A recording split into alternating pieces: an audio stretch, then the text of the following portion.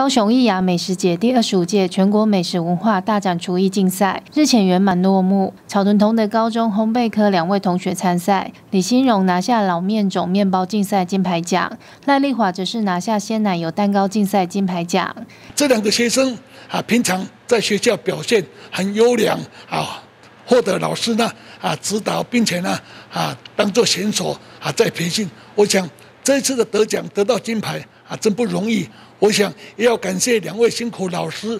指导啊，及呢啊学生的努力啊，才有今天的这个呢啊本校呢啊这个烘焙食品科呢啊目前呢参加全国多项比赛，并荣获呢啊这个很好的佳绩。两位参赛学生很开心，暑假的苦练与准备有了最好的回馈，将继续迈向下一个目标努力。选手们除了争取比赛获奖的肯定，更是为了互相切磋交流，来精进自我专业技能。而现场看到许多值得学习的作品，更是此行最好的收获。题目是要做出仿真蒸笼和小笼包。一开始画小笼包的时候，画的超像那个仙人掌。放学回家以后，练到睡前，确定真的就是那个感觉画出来对了以后，我才会去休息。在面包刚开始做好的时候，其实觉得没有做的很漂亮，但是在后面在老师的指导下面。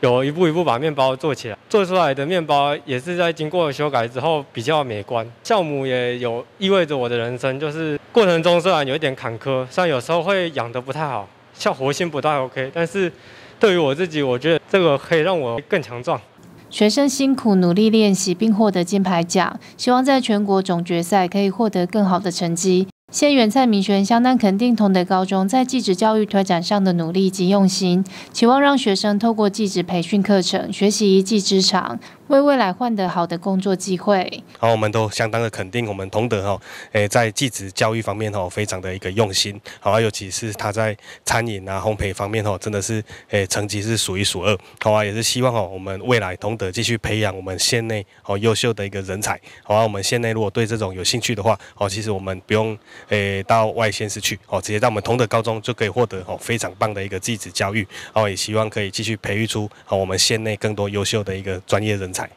校长童建文表示，该校烘焙科课程多元化，一直以来提供学生许多实习练习机会，并聘请优秀业师协同教学，同时透过参赛机会，引导学生到达更精进的专业能力。记者洪一伦、草屯采访报道。